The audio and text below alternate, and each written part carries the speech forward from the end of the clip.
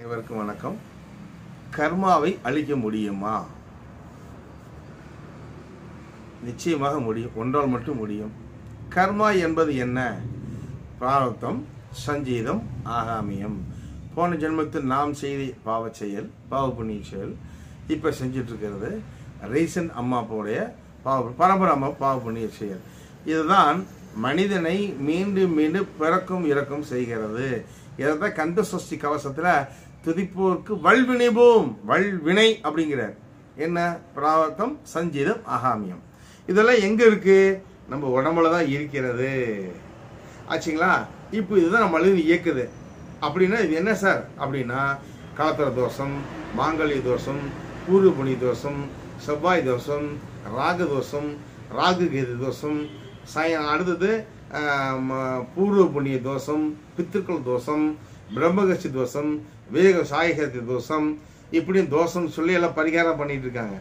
இப்போ நம்மளோட எண்ணங்களாலும் மனதாலும் உடலாலும் செய்யக்கூடியது தான் இப்போ நம்ம தோஷமாக வந்திருக்குது. தோஷமாக சாப்பிட்றது கர்மமா உடம்புல இருக்கு. அப்படின்னா என்ன சார்? அப்படின்னா நம்ம நண்பர் ஒருத்தர் இருக்கார். நம்மளுடைய நம்மளுடைய நண்பர் பையன். அந்த பையனுக்கு வயசு இப்போ தான் இருபத்தி ரெண்டு ஆகுது. அவன் பேர் ராஜு. ஆச்சுங்களா அந்த பையனோட அப்பா பேர் மீனாட்சி சுந்தரம். மீனாட்சி சுந்தரம் அப்பா பேர் பெருமாள். பெருமாளுடைய அப்பாள் பேர் தட்சணாமூர்த்தி. ஆனால் இங்கே பரம்பரை பரம்பரையாக கல்யாணம் ஆகி அஞ்சு வருஷம் கழிச்சு பையன் பார்க்க நாலு தலைமுறையா? அஞ்சு வருஷம் கழிச்சு ப- நாலு தலைமுறையா? கல்யாணம் ஆகி அஞ்சு வருஷம் பையன் பிறக்கிறான். பையன் அஞ்சு வயசு ஆகும் அப்பெல்லாம் ஆக்சிடென்ட் செத்து போயிடுறாங்க. இது கர்மா. சரி. நண்பர் வீட்டுக்கு போயிருந்தேன். நண்பர் வீட்டுக்கு ஃப்ரெண்டோட வீட்டுக்கு போயிருந்தேன். அவங்க அப்பா உட்காந்துருந்தாரு ஐயா ஒரு கொஷின் கேட்கணும் அப்படின்னு. என்ன ஐயான்னு அதாவது இந்த இடத்துல கரெக்டாக எனக்கு அறுபத்தி ஒரு ஐம்பத்தி எட்டு வயசு இருக்கு ஸ்டார்ட் ஆகும்போது என் மனைவி இங்கே கேஸ் உடைச்சி செத்து போனாங்க. எங்கள் அப்பா ஐம்பது வயசாக இருக்கும்போது எங்கள் அம்மா இடி இடிச்சு போனாங்க. எங்களோட அப்பாயி எங்கள் அப்பா அப்பா அப்பாவோட அப்பா பாட்டேன் ஐம்பது வயசு இருக்கும்போது எங்கள் அப்பாயி அடுப்பில் நெருப்பு பிடிச்சி அதாவது நெருப்பு எப்படிங்கிற எப்படின்னா அடுப்பை பற்ற வச்சுக்க புடவை வந்து முந்தானி தெரியல டப்புன்னு பிடிச்சி வச்சு செத்துட்டாங்க. இது மாதிரி மூணு தலைமுறையாக ஆண்கள் கணவர் ஐம்பத்தி வயசுங்கும்போது எல்லா பெண்கள் செத்து போயிடுறாங்க. இது மாதிரி என் மருமகளுக்கு வந்துடுமா இல்லை நான் எனக்கு பயமா இருக்குது அப்படிங்கிறாரு. ஆச்சுங்களா? இன்னும் ரெண்டு பேர் அஞ்சு பேர் ஆத்துல குளிக்கிறாங்க. ரெண்டு அம்மா அப்பா ரெண்டு தங்கச்சி தம்பி அஞ்சு பேர் ஆத்துல குளிச்சிட்டு இருக்காங்க குளிச்சுட்டு வந்துட்டு இருக்கும் பொழுது நடந்த நடந்த நிகழ்ச்சி பொய் புகழேன் சத்தியம் புரியேன் நான் சொல்லும் வாக்கும் அனைத்து உண்மை உலக நன்மைக்க பேசுகிறேன். கற்றுக்கொள்வதும் கற்றுக்கொள்ளாதும் உங்களை பொறுத்த இந்த மகாங்கள் சாட்சியா அத்தனை உண்மை. கற்றுக்கொள்வதும் கற்றுக்கொள்ள உங்கள் தாரமும் குருவும் அவரதும் தளபதியே. தலைவிதிப்படியே மூர்த்தி தலம் தீர்த்தம் முறையாக தரிசித்தாருக்கு ஓர் வார்த்தை சொல் நற் வாய்க்கும் நர் சத்குருநாதன் பராவரமே உங்ககிட்டே சக்தி நீ பயன்படுத்தி சொல்றது ஞான குரு. வாங்க ஆசிரமத்து வாங்க. கட்டட பில்டிங் கட்டுறேன். உங்களை கடவுள் பார்த்துட்டு வாங்க. வெள்ளிக்கிழமை போச்சு அமாவாசை போச்சு இந்த பில்டிங் கட்டுற பணத்தை கொடுங்க. வேலைங்க கிடையாது. மொட்டை அடித்து கொட்டை அடித்து அனுப்பி வேலை கிடையாது. கற்றுக்கொள்ளுங்கள் நாலு விதம் கிளாஸ் எடுக்கிறோம். உங்கள் வீட்டில் கிளாஸ் எடுக்கிறோம்.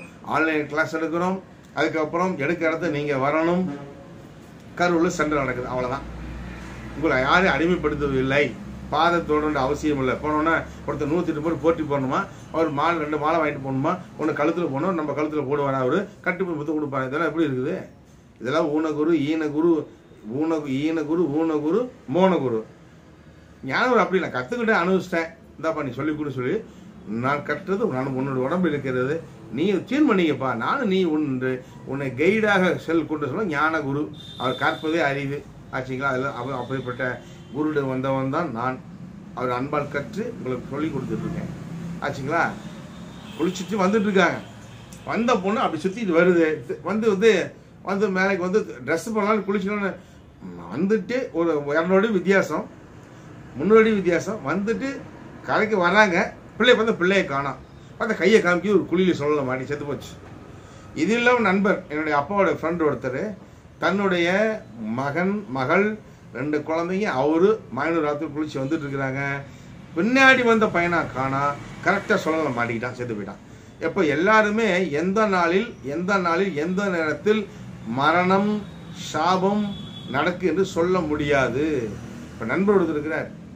அந்த நண்பர் என்ன பண்ணுறாரு அவங்க அப்பா அவங்க அப்பா அதான் நண்பர் நண்பருடைய அப்பா அம்மா மூணு பேர் ஆளுக்கு வண்டியில் போகிறாங்க கோயிலுக்கு போகிறாங்க கோயிலில் போய் தரிசனம் பண்ணிட்டாங்க. விராலிமலையில் தரிசனம் பண்ணியாச்சு. திருச்சி வராங்க. அப்போ என்ன பண்ணுறாரு முன்னாடி போப்பா நான் பின்னாடி வரேங்கிறாரு. சரி வண்டி சென்று சரி பெரிய வண்டியில் வந்துருக்கு அம்மா முன்னாடி கொண்டு பாங்கிறாரு. சரி நீ போட்டு பாக்குறாரு நீ போப்பா நான் வண்டி போட்டு பின்னாடி வரேங்கிறாரு. பின்னாடி வந்து அப்பாவை காணாம் ஏன்னா அப்பாவை காணா? அப்படின்னு பார்த்தா அந்த வண்டியில் ஜிபிஎஸ் செட் பண்ணிக்க ஜிபிஎஸ் அப்படியே நிற்கிது ஏன்னா வண்டி நிற்கிது வண்டி ஒரு மணி நேரம் ஆச்சு. ஆளை காணாமேன்னு ஃபோன் பண்ணால் வண்டி நிற்கிது திடீர்னு பார்த்தா ஆம்புலன்ஸ் போயிட்டு இருக்குது. அந்த வழியை ரிட்டர்ன் போய் பார்க்குறாங்க. அந்த செல்ஃபோனில் அலோ அலோங்கிறாங்க அப்போ தான் அந்த அந்த பையன் அப்பாவுக்கு ஃபோன் பண்ணியிருக்கிறாரு.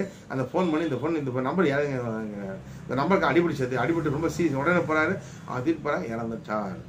அவர் எப்படி இறந்தாருன்னா ஒரு வண்டி முன்னாடி நிற்கிது இவர் வந்து என்ன பண்ணிட்டாரு? டர்ன் கட் பண்ணும் பொழுது வேடிக்கை பார்க்க வந்து வண்டி நிற்க தெரியல. டக்கு உள்ள அடிச்சிட்டார் அப்போ இந்த ஐம்பத்தி நாலு ஐம்பத்தி ரெண்டு வயசில் இவர் மனைவியோட கோயிலுக்கு போகிறாரு சாமி கும்பிட்றாரு. மனைவி க வண்டியில் அனுப்பிவிட்டு பையனை அனுப்பிட்டு வண்டியில் வந்துட்டு இருக்கிறாரு முன்னாடி நின்ன வண்டி இவர் யோசனை டம்னு விட்டு இறக்கிறார். இது விதி.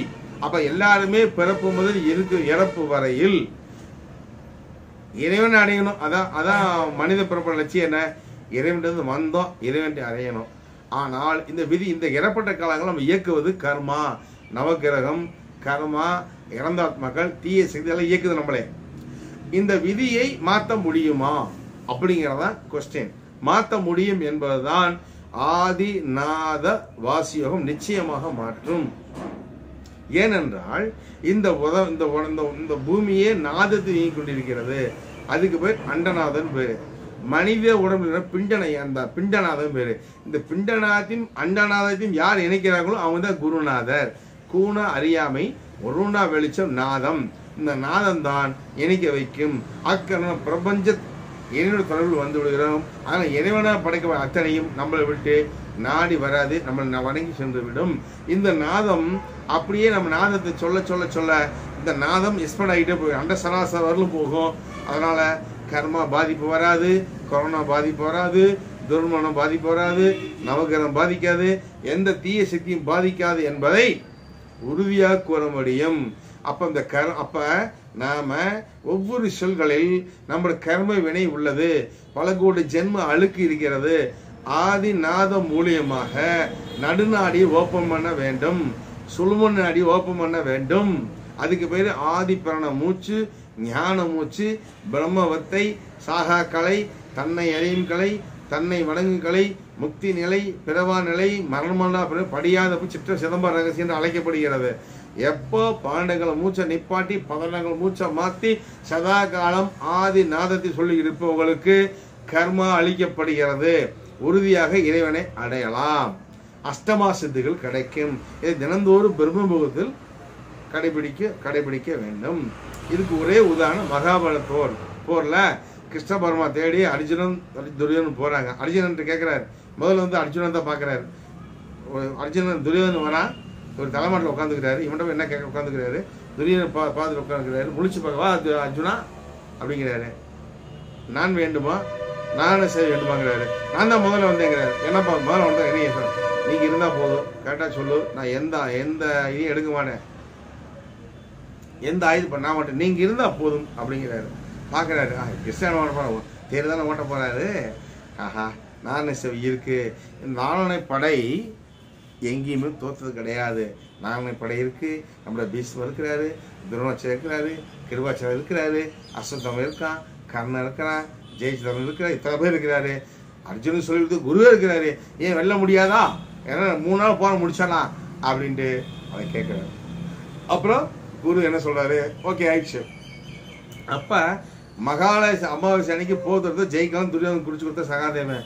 என்ன அப்படி சொல்லிட்டேங்கிறாரு அப்ப முதல்ல தர்ப்பணம் பண்றாரு. சூரியன் வருகிறார். சந்திக்கிறாங்க. அப்ப செவ்வாய்க்கிழமை அமாவாசையை தீங்கிழமை மாத்திட்டாரு. ஜெயத்திரத்தனை சூரியன் மறைய வச்சு அதுக்கப்புறம் ஓப்பன் பண்ணி கொள்ள வைக்கிறாரு. கர்ணன் கர்ணன் போருக்கு முத நாள் அதாவது இறக்கிறதுக்கு முத நாள் விஜயதிசு திசை கொண்டு வர அணை அன்னைக்கெல்லாம் அம்பு பறக்குது. அர்ஜுனன் சமாளிக்க முடியல. அப்ப சொல்றாரு கர்ணன் கையில் விஜய தனுசு இருக்கிறது. இந்த விஜய தனுசு இருக்கும் வரையில் கர்ணன் வெல்ல முடியும் அவர் குரு பரசுராமர் சொல்லியிருக்காரு. கர்ணா அவர் சாப விட்டுறாரு நீ ஏமாத்தி வந்ததுனால முக்கியமான நேரத்தில் உன்னை நான் கெட்ட கலைகள் நீ உன்னுடைய கலை உன்னுடைய கலை மறந்து போன்றாரு. ஆனால் அவர் அதை ஏற்றுக்கிறாரு அதனால் ஒரு உனக்கு ஒரு வரம் தருகிறேன். இந்த விஜயதனுசு கையில் இருக்கவள் எந்த வீரனாலும் உன்னை உன்னை வெல்ல முடியாதுங்கிறார். அப்படிதான் இந்த விஜயதனுசு கொடுக்குறாரு. அந்த விஜயதனுசு என்ன பண்ணுறாரு தேரை சிக்க வைக்கிறாரு. அந்த விஷயம் கீழே வைக்கிறான் அப்போ சொல்கிறாரு அர்ஜுனா இப்போ அம்பு போடு.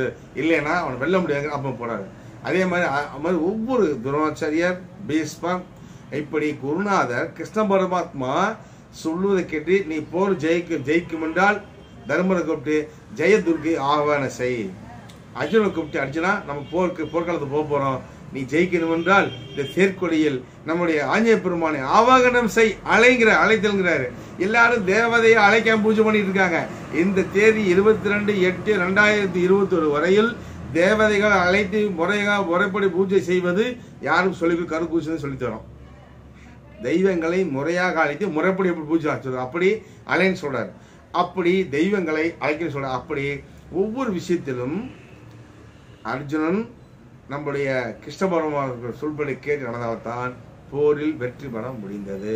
அதுபோல் ஆதிநாத வாசிய பேசும் குரு கூட இருக்கணும் சொல்லித்தரணும் அப்பதான் கர்மாவை அழிக்க முடியும். கர்மாவை அழிக்கும் என்றால் நம்ம விதிக்கப்பட்ட விதியை அழிக்கும் என்றால் பன்னெண்டுங்களை மூச்சை நிப்பாட்டி பதினாறுங்களை மூச்சை மாற்றி சதா காலம் இறைவழி சொல்லிக் கொண்டிருந்தால் உங்கள் கர்மா அழிக்கப்படுகிறது. இதுக்கு பகவத்கீதை உதாரணம்.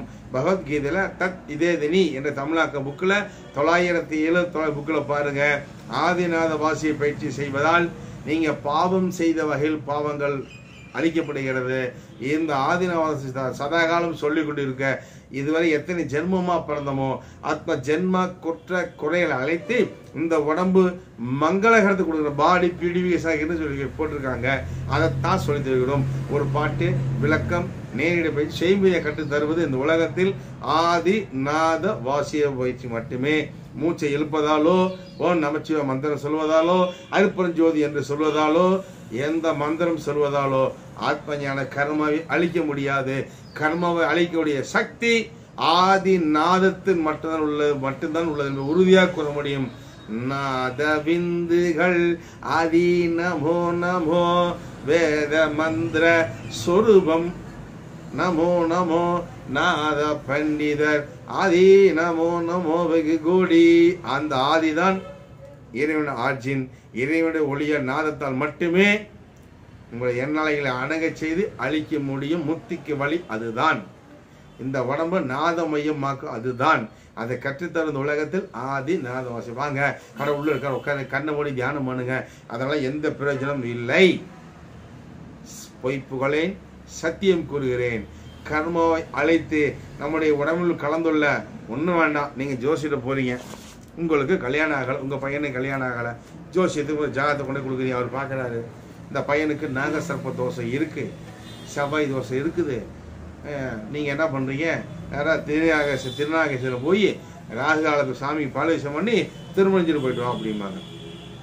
இது மாதிரி ஸ்தலங்களுக்கு போய் எதாவது பரிகாரம் பண்ணுவாங்க. என்னுடைய உடம்பில் உங்க பையனோட உடம்புல ஓடக்கூடிய கிரக கதிர்வீச்ச சாபங்கள் பாவங்கள் தோஷங்கள் கிரக கதிர்வீச்சை காமிப்பது ஜோதிடம்.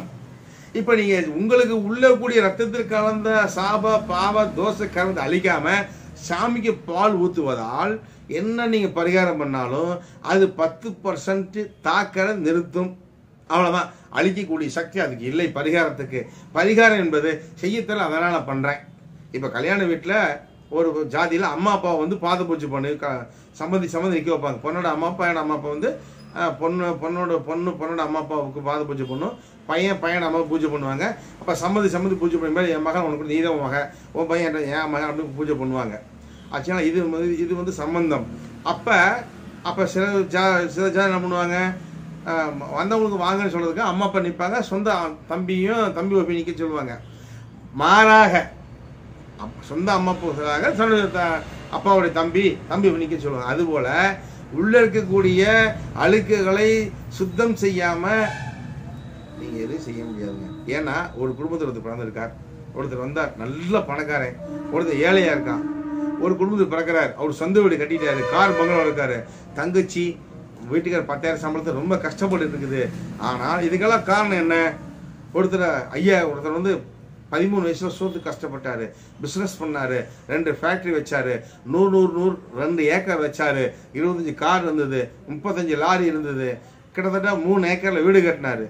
ஆனால் இப்போ ஐயாயிரத்தி நூறு கடன் எல்லாம் கொடுத்து சொந்த ஊருக்கே போயிட்டாரு. இது மாதிரி மனித வாழ்க்கை என்பது பூர்வ ஜென்ம பிரகாரம் தான் நடத்தப்படுகிறது. அதனால் யாரும் யார் மேலும் போட்டி போடாமல் செய்ய வேண்டாம்.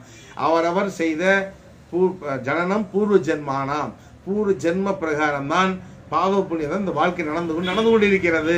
அதை மாற்றணும் என்றால் இந்த உலகத்தில் ஆதி நாத வாசிய பயிற்சி மட்டும் தெய்வ வழிபாடு மட்டும்தான் என்பதை உறுதியாக கூற முடியும்.